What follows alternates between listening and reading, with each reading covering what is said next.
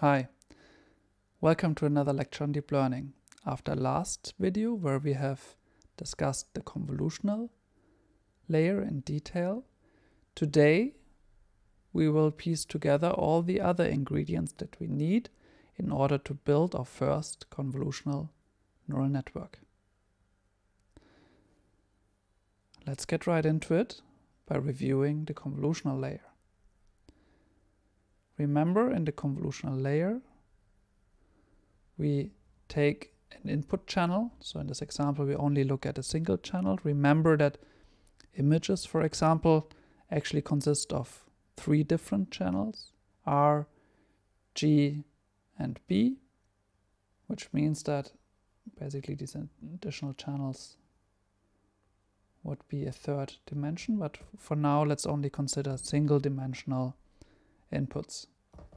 Similarly, we are dealing with single, single dimensional kernels, which means that we take the kernel in a convolutional layer to compute a cross correlation by placing the kernel over every possible window of the kernel size in the input multiply the corresponding values in the input with the corresponding values in the kernel. So 0 times 0, 1 times 1, 3 times 2, and 4 times 3. Sum all of these products up to compute an output value. And then we move over the kernel, repeat the same operation, and we do so over the whole input to create all the values of the output.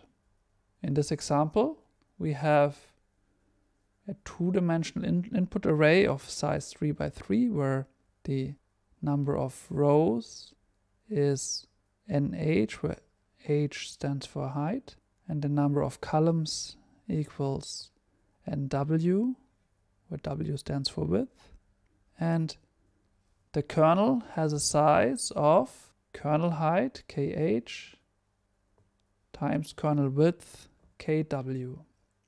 Sometimes we also call the kernel filters. If we just apply the vanilla convolutional layer, then the size of the output of this channel is actually reduced.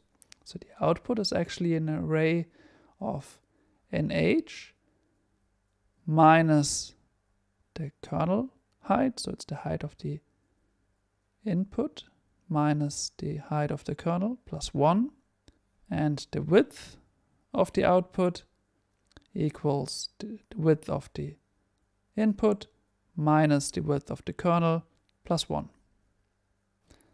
So way to fix this reduction in size is to adjust the size of the output using padding of the input.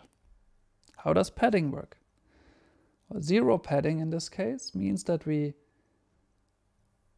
add zeros to the dimensions of the input. In this case, we add a column of zeros and a row of zeros in the beginning and in the end of a 3 by 3 input.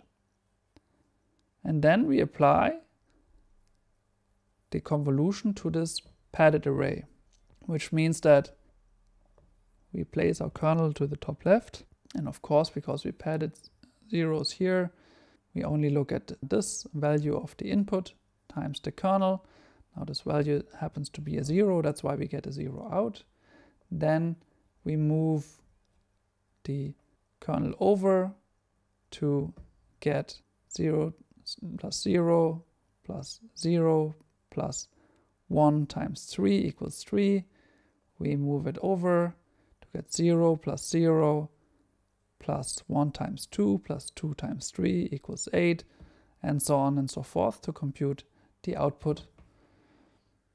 Now if again the input is a two-dimensional array of height nh and width nw and the kernel has a size of kh times kw, the kernel height and the kernel width, if we now add pH rows and PW columns of padding, then we produce an output that has each of the dimensions increased by P, the corresponding pH or PW. So the output now has a shape of NH minus KH plus 1 as before, but plus pH times NW minus KW plus 1 as before plus PW.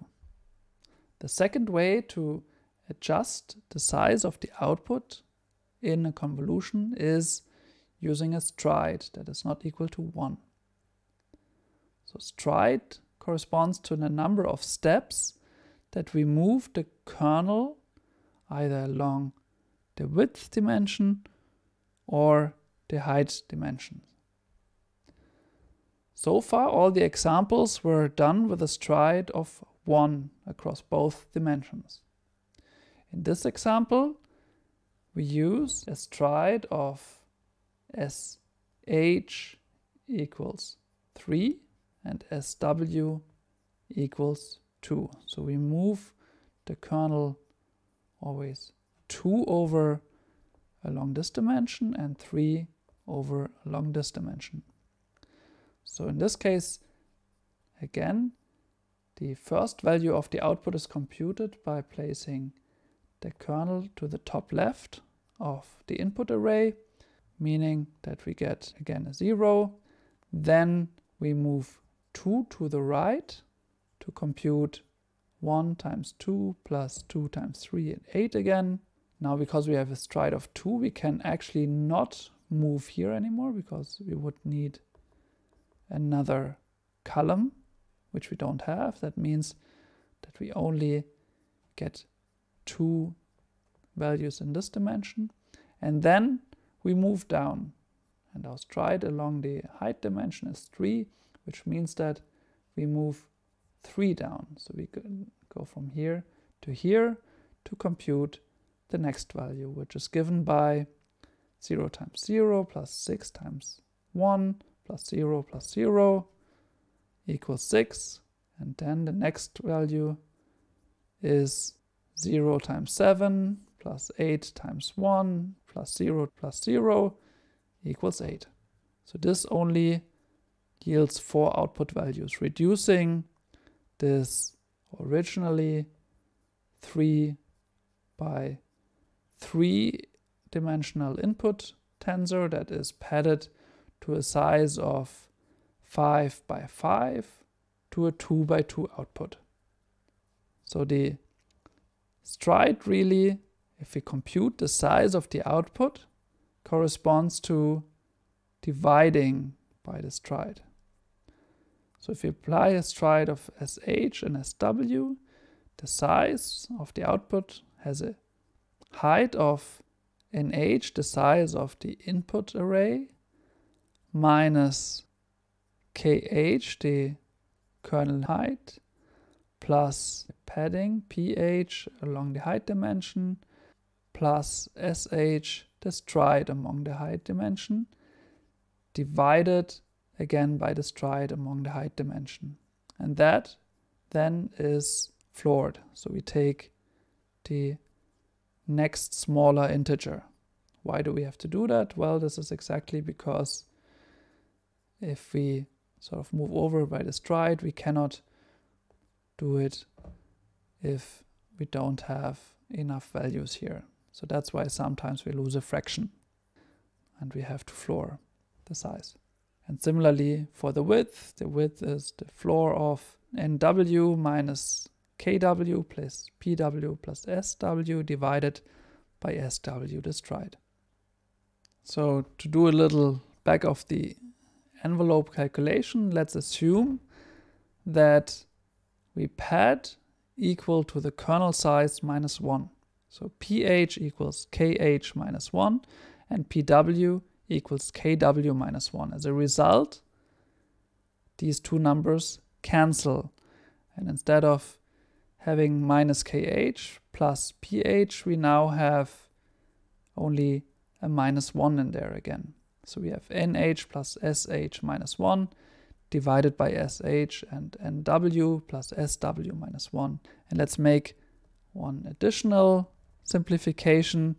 If the input height and the input width are both divisible by the stride, then the size of the output is the size of the input divided by the stride along all dimensions, along the height dimension and along the width dimension. Now, why do we do this uh, little calculation? Because this is a very good rough estimate of the size of the output. Now, the kernel size and the padding, they are only additive factors, whereas the stride is a factor that we divide by. Thus, NH divided by SH is a good estimate of the output as SH. This division really much dominates the addition or subtraction of these small constants kh and ph. So if you just quickly want to estimate the size of the output of a convolution, just take the input dimensions, divide by the stride. So let's summarize this part on padding and stride.